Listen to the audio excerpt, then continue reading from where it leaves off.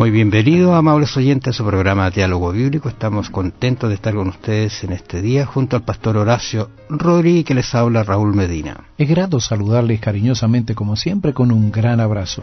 En este avance de lo que es misional, los misioneros, nos hemos encontrado con muchos personajes, personas que estuvieron en lugares extraños, ajenos, exiliados, pero predicaron el Evangelio y ahora nos encontramos cómo viene el resultado de la obra de Jesús y del Espíritu Santo, especialmente en Pedro, que actuó como uno de los grandes misioneros a los gentiles, aunque también está Pablo, pero vamos a considerar algunos hechos puntuales acerca de este Pedro, impulsivo, pero que se transformó realmente en un maravilloso misionero a los gentiles.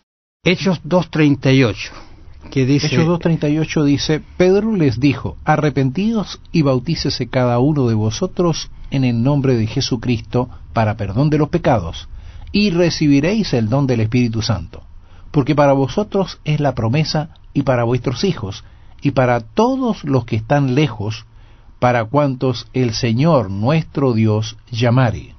Ya está dando una indicación en la última parte que tú leíste ahí, eh, para cuantos el Señor nuestro Dios llamare. ¿Quiénes estaban allí presentes? ¿Quiénes eran? ¿Solamente judíos? Había una diversidad, ¿no es cierto?, de etnias, de razas presentes, por lo menos eh, habían venido a, alguna cosa a Jerusalén, un momento muy oportuno. Bueno, recordemos, recordemos que, que este es el discurso de Pedro después de haber salido del aposento alto. Pedro dice, los discípulos estaban allí por temor a los judíos. Pero cuando, cuando ellos lograron estar no solamente juntos, sino también unánimes, ahí descendió el Espíritu Santo y ellos ahí salieron y predicaron. Y este fue el discurso que, que tuvo el apóstol Pedro.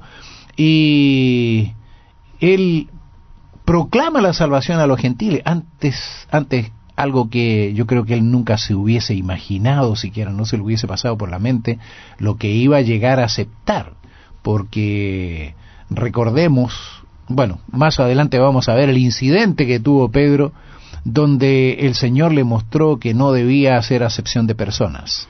Ahora la indicación de Jesús allí en Hechos 1.8 dice, pero recibiréis poder, y esto es muy importante, recibiréis poder cuando haya venido sobre vosotros el Espíritu Santo, y me seréis testigos en Jerusalén, en toda Judea, en Samaria, y hasta lo último de la tierra. Nota que está colocando a Samaria puntualmente, y Samaria no era considerado dentro de los límites del judaísmo.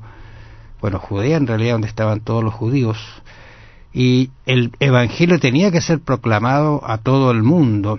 Y eso es lo que está haciendo Pedro de alguna manera, no directamente, yo creo que no lo pensó así, pero estaba tanta gente, cuando uno lee con detención, se encuentra quienes participaban en ese momento. Allí en Hechos 2.5 Justamente dice, moraban entonces en Jerusalén judíos, varones piadosos de todas las naciones bajo el cielo.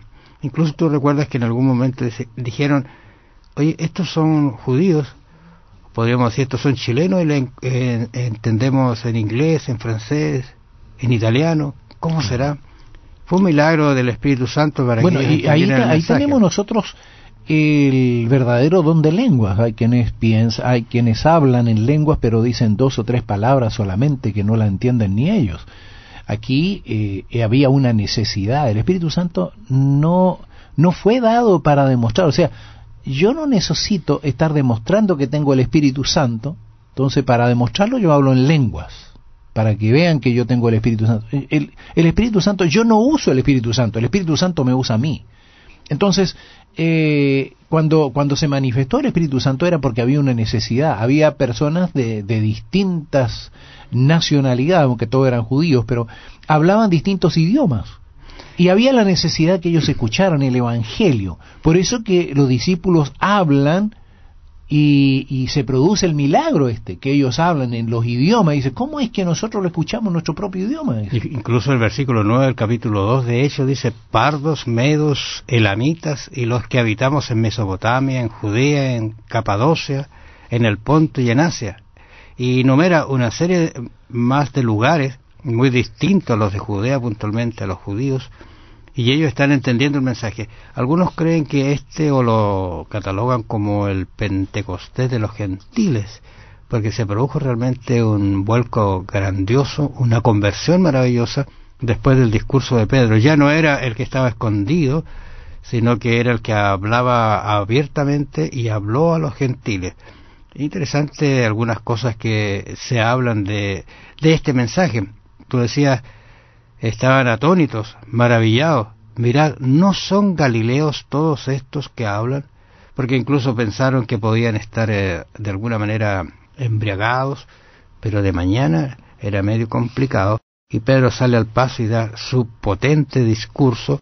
Incluso algunos se burlaban diciendo están llenos de mosto. Entonces Pedro poniéndose en pie, aquí aparece el Pedro, ¿ah? el Pedro que antes usó eh, ese carácter que tenía, lo usó, voy a decirlo malamente, ahora lo usó también para predicar el Evangelio, poniéndose en pie con los once alzó la voz y les habló diciendo, varones judíos y todos los que habitáis en Jerusalén, esto os sea necesario y oíd mis palabras. Y aquí aparece el discurso, un discurso de, de la entrega del verdadero mensaje, qué había ocurrido realmente por lo que, por qué ellos estaban en este momento haciendo esto y por qué le estaban escuchando.